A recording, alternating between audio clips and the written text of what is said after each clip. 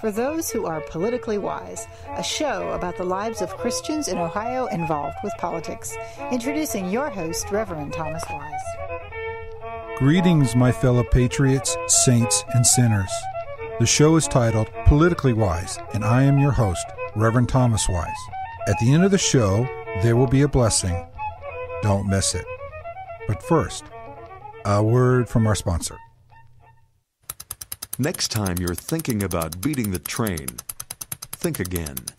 It takes a typical freight train traveling 50 miles an hour, one and a half miles to stop. That's nearly 18 football fields. Don't try to beat the train. Ohio's roads can be highways or dieways. The choice is yours. A message from Operation Lifesaver and this station. The opinions and statements on this show belong to those who give them. The rest of the show belongs to Thomas Wise Words, all rights reserved. The show is titled Politically Wise, and I am your host, Reverend Thomas Wise. This is uh, Reverend Thomas Wise. The show is called Politically Wise. I am in the State House today with State Senator Kris Jordan. Kris, won't you tell me, won't you tell my listeners about yourself? Um, I'm uh, in the middle of my first term in the state senate. I served in the state house and as a county commissioner prior to that. Um, I'm conservative, both uh, socially and uh, fiscally, and um, uh, I represent an area north of Columbus, um, and uh, it contains Delaware, Knox, and part of Franklin County. What committees do you sit on? The committees that I'm on, I'm the chair of the reference committee. I'm on the Energy Committee. I'm on Health Committee, and then I'm on the uh, uh, Finance Subcommittee of Medicaid and, and, Health Services. What is the Reference Committee? It refers all the bills to what committees that they are supposed to go to uh, based on what topics are in, in the particular bills. In your work here as a st- senator, have you have any bills pending and bills coming up that, that you're working on or anything you can share with the listeners? Yeah, I've got uh, a number of bills that I've introduced and, and a number more that I'm currently working on. Um, uh, one protects our Second Amendment rights. It prohibits um, any laws coming from Washington from either registering or confiscating anyone's firearms here in the, the state of Ohio. Um, that's Senate Bill 36. Uh, other pieces of legislation I've done is to repeal um, what I view as an unnecessary or bad state law that says by the year 2025 that 25% of our electricity needs to be generated by renewables or advanced advanced energy sources. And I believe in letting the free market determine, you know, what consumers, you know, get as far as their local energy production. Um, and currently, uh, renewables don't make economic sense. Um, as soon as they do, I think a lot of these power companies will choose to use them, but I don't think that that's something that government needs to mandate upon uh, businesses businesses to do that at the expense of the ratepayers. So there's an, actually a mandate for that? Yeah, with by the year 2025, 25% of all of our electricity production, uh, it's divided 12.5% needs to be done by renewable energy sources. Solar, wind are the primary ones and then 12.5% is advanced energy sources. And that, uh, I believe, can be nuclear, uh, biomass, hydroelectric. Um, there, there are certain things that I think are considered, you know, advanced and certain things that are renewables. Um, but honestly, if it makes economic sense, I would hope that the electric companies would choose to do that um, but you don't want to force things down on customers that will necessarily guarantee rate increases. When did that come about? How did that, how did that mandate come about? Oh, that was about four or five years ago. There was a an electric uh, a piece of legislation dealing with electric generation, uh, and that was one of the big provisions of it. Um, and you know, it's it's been attempted in other states, but Ohio has one of the highest uh, percentages and, and, the, the strongest mandates pushing for all these renewable energies. Um, and I'll just give you a couple little examples. Uh, one of them is in the state of Massachusetts. There's a voluntary checkoff box saying that if you know it's going to cost more, and they, they give the percentage increase in, in the rates, you know, will you choose to get your energy produced by renewables? It's less than one half of 1% of the customers have chosen to get uh, renewables because they see how much it'll increase their rates. Hmm. And th- that same question was asked here in Ohio. I think it was among the uh, rural electric cooperatives, and it was less than one tenth of one percent of people said that they were willing to pay the the rate increases to get renewable uh, energy created, you know, creation. Um, they just know how much it's going to cost, and I think we want to do what's best for the environment and everything else, but not if it means doubling or tripling our electric bills. You know, we also don't want to, you know, not be able to afford to run the air conditioner in the middle of July. That's right. That's right. And it also affects our food bills because, you know, that refrigeration cost is not cheap, you know. It, it affects everything. It affects, uh, you know, manufacturing. It affects how much goods and services cost to get to us. Um, because if you increase or inflate the price of producing things, um, it, it produces food or increases food costs because a lot of times when farmers pick the corn or the wheat or the soybeans, they have to dry them and they have huge, huge electric bills uh, to dry the grains to store it properly. Um, so it it'll cost tens of thousands of jobs easily uh, if this thing gets fully uh, enacted. And we will be right back after the break. To some people, they're just a pet, a dog or a cat. But to you, they're part of your family. They've shared your lives, provided companionship, and given unconditional love. And just like when a human family member passes on, you want your four legged family members to be treated with dignity. Baker Hazel and Snyder Funeral Home and Crematory has been caring for families since 1941 and now offers the same level of service for your pets at Snyder Pet Crematory. Call 274 1151. 274 1151. And the, other bill, you, you talked about having confiscating of guns. What is the thought behind that, and what is the history, kind of the history behind that? Well, uh, there was a lot of talk earlier in the year about gun control measures coming out of Washington. Um, this bill would prohibit any state, local, or federal uh, agents uh, from registering or confiscating firearms of any Ohioan that is currently legal. And it would prohibit any new changes. You know, they're trying to make anything with a pistol grip or anything with a, you know, 30 round magazine or 20 round magazine. They're trying to make all those illegal. Um, but it would prohibit them from making anything illegal, you know, tomorrow that is currently legal. Uh, when whenever we would enact this this legislation, so meaning people wouldn't have to get rid of the guns that they've invested money in and currently use to protect themselves and their families. This state it gets on the books. How does that empower? Who who does that empower? Does it empower the sheriffs or empower the the the state police to to stop the feds from confiscating or? Th- that's that's a, a question. Some on the left um, think that they're um, uh, the supremacy clause will make federal law trump any state law, um, and it is agreed in the Constitution. It says federal laws are the law of the land. That being said, also the second part of the supremacy clause says that laws enacted by Congress have to be constitutional laws.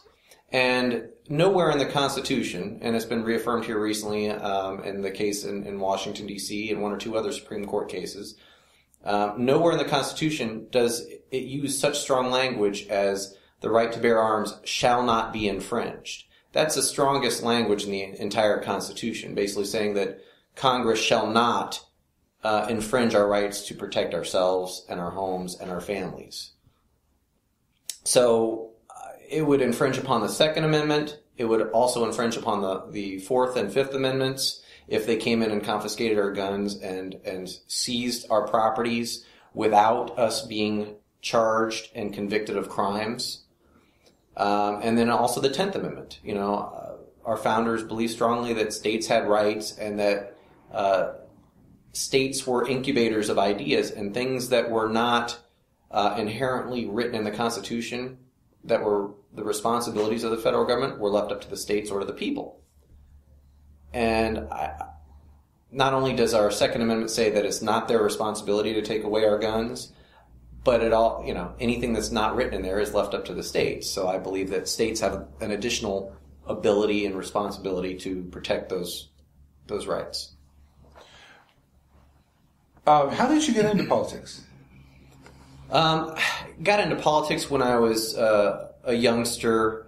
Um, I was probably three, four, or five, and I started reading books. It was mostly I was interested in the history of presidents and and politicians, and then you know I started. Uh, my parents weren't active in politics, but they they encouraged me to read whatever I, I was willing to read.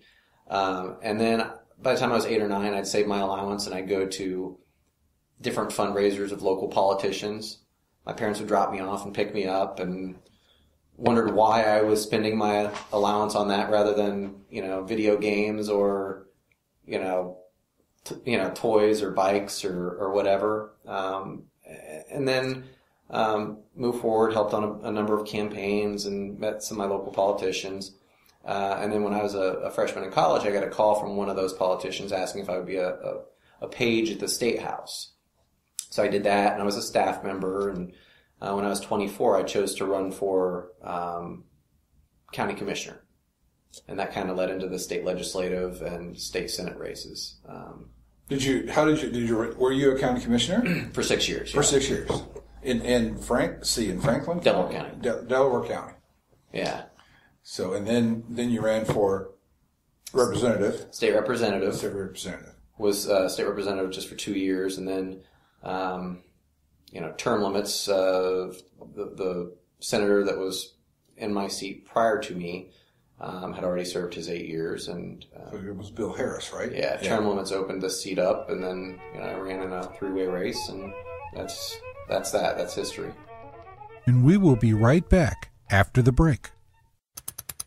Have you ever driven over a pop can? Well, when a train collides with a car it has the same force as a car running over a pop can. Obey the warnings at railroad crossings. Don't try to beat the train. Ohio's roads can be highways or dieways. The choice is yours. A message from Operation Lifesaver. But how have you seen God? How have you seen your faith apply to your work here? How how how has that been? What, what can you share with us? Well, God's, I mean, He's active in all parts of all of our lives. It's a matter of trying to pick up and, and uh, see His signs and try and see, you know, what He wants you to do. Uh, and before, you know, most of my decisions, you know, big and small, I pray and I ask Him, you know, what should I do? You know, God, tell me, tell me what you what you want me to do. And he he points me um, almost always, whether not always with my party. Uh, I actually have a, a, strong record of voting against my party, um, but I, have gotten a number of signals that um, God pushes me to to push for freedom and to push for for people's ability to choose on their own, to give on their own, to live on their own, without uh, government being a heavy hand over them. Um, and and that that's kind of what I believe God has has been um, showing me signs that that's the right thing to do, and and that's the direction that we we as a nation need to go. Um, we don't need government constantly watching over us and constantly telling us what to do um, we need the freedom to, to make those decisions and, and between you and me, government tends to be more of the problem than the solution for most things in our lives. Do you have a, an example of a time where you had to go against your, you know, you thought God spoke to you to, to stand, take a stand alone? Oh gosh, that happens quite often. Um, uh, I'll give you just a, a couple of examples, um, and they may not be glamorous issues for, for a lot of folks. I was the the only person uh, that voted against extending unemployment benefits, um, and and I do believe God says He wants us to be charitable, and He wants us to be philanthropic to our neighbors and help help others. But I don't believe that He meant government needs to do that and be the middleman in that charity. I, I think he says clearly you need to do it because your heart tells you to do it because you know it's what I want you to do. And uh, I just think it's it's time that we as politicians or as as public servants stop trying to be charitable with other people's money. That's not charity. That's theft. Um, and and I just that's one of a number of occasions that I got got tired of it. Another time, um, government, you know, I don't believe God likes theft, and and there are many times where we are used here in uh, elected office as a way to shut down certain businesses or hurt certain businesses or um, take people's property rights away. One thing that I was a lone vote on um, was banning exotic animals. And there was an instance over in Zanesville that made national news uh, where there was one guy that turned out his animals and use them as a weapon against his neighbors. I don't know if he intended for them to get hurt or he just was trying to make a, a sad statement. Um, but because one person did that, then we passed a law that took the property of hundreds of other people. And, and I don't know why in the world anyone wants a wolf or a bear or any of these other things, but it's their property. They've invested tens of thousands of dollars, sometimes much more. And because one person did something wrong, we took the property and the freedoms and the rights of thousands of other people that didn't do anything wrong. And that's wrong. I, that's, that's classic government reaction to a tragedy. When one person does something wrong, we go after a bunch of law-abiding good people and take their freedoms away. And I, I'm just get tired of that being government's first response to everything.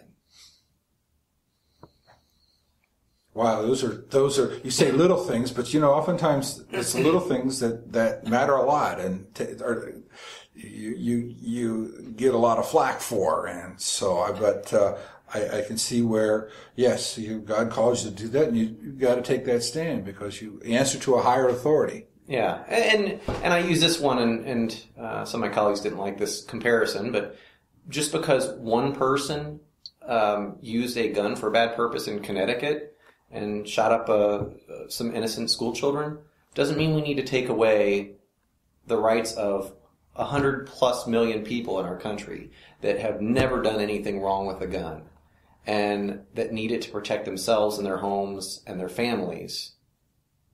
You know, that, that's, that's wrong because one, one person is, is messed up in the head.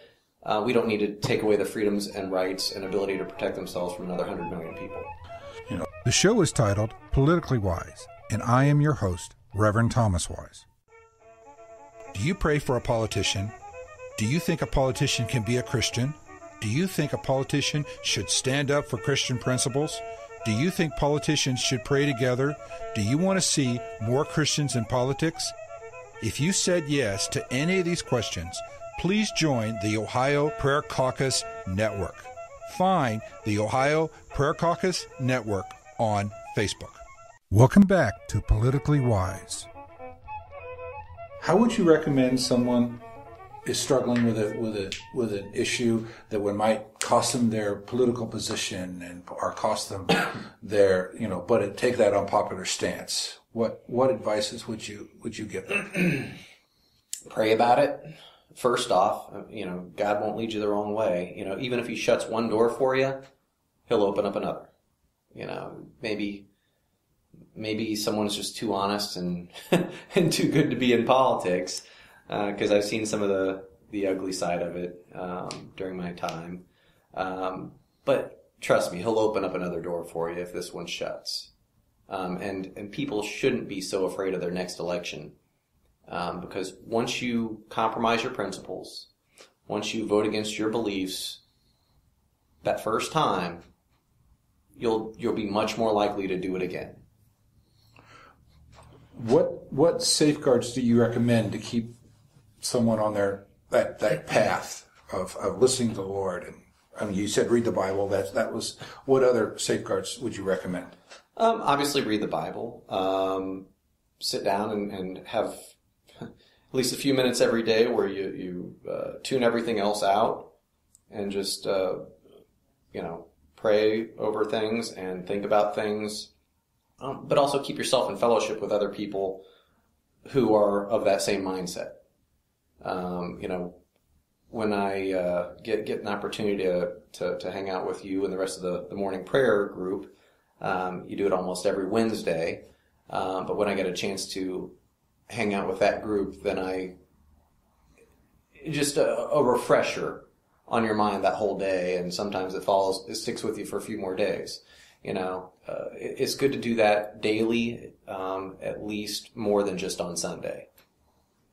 Um, because you know a lot of a lot of Christians go to church on Sunday and then they, you know, buy lunch on Sunday. They've completely forgotten about what they learned, and the rest of the week they don't seem to be paying attention. yeah, that's that's too true in our culture of the day. That's too true. Um, if someone wants to get into politics, what what do you recommend? what, what, what advice would you give them? Um, don't let anyone tell you you cannot do it. Because um, again, I was when I first ran, I was 24. I was in a five-way race with a city councilman, a township trustee in what the second largest township in Delaware County, uh, an insurance agent that had a couple insurance agencies in, in my county, uh, and a lot of the quote unquote political powers were telling me, "Oh, you're just too young. You got to wait your turn. You can't do it." Um, but you know, I went out and worked harder than any of them. I had a a clear message that several of them didn't have, and I stood for something. Um, which uh, you know, I'm not going to pick on anyone else, but some of them didn't. I couldn't tell what they stood for. Um, and you know, you disprove a lot of people when um, you know you, you rise up against the establishment and, and you're able to be successful. So I would just tell them, no matter what the establishment tells you, no matter what the powers that be tell you, don't let them convince you that you cannot do it. Um, that's that's number one, and I think that gives me a lot of freedom and liberty because I've never had to wait my turn. I've never had to wait for people to, you know, christen me to to run for something or to to take an opportunity. Anything else you want to add that I have thought about to ask you? What else do you? what else is there? Yeah. No, what, what's your future look like? What are, you're going to be here till they kick you out, or you might have other plans, or maybe it's too early to let the cat out of the bag just yet. Oh goodness, I don't know what my, my future plans will be. You know, in, in politics, you know, percentage of it deals with uh, opportunities that present themselves to you. Um, I guess just just work hard, stand for something, try and do what I think is right down here every day, and um, if if better opportunities or, or, bigger opportunities, let's just say that, present themselves, and I'll you know take a look. But I'm I would be hesitant to say I'd ever love to go to Washington because it's so messed up out there that I don't know if it can be fixed. Uh, and I I know I get frustrated here in Columbus uh, when I think my colleagues are heading in a more liberal, bigger government uh, direction than I'd like to go. But um, in Washington, it's multiple times bigger and multiple times worse than it is at the state level. And it would just scare the socks off me to see how corrupt, how big, um, that things are in Washington, and I just get frustrated that I can't fix it. Because that's uh, you know, as a as a man, as a guy, your natural tendency is to want to fix something. Um, and when you go to Washington, you realize that it's so screwed up that it cannot be fixed. I think you just be frustrated. you are you are. But I think you're plowing good ground here, though, at the state house. And so I, I appreciate this time we spend together. Uh, this interview is with uh, State Senator Kris Jordan, uh, recorded in his office. Uh, and I greatly appreciate the, your time. Thank you very much. Thank you. The show is titled Politically Wise, and I am your host, Reverend Thomas Wise. Thank you for listening today. If you want to email me, you may do so at politically.wise at gmail.com.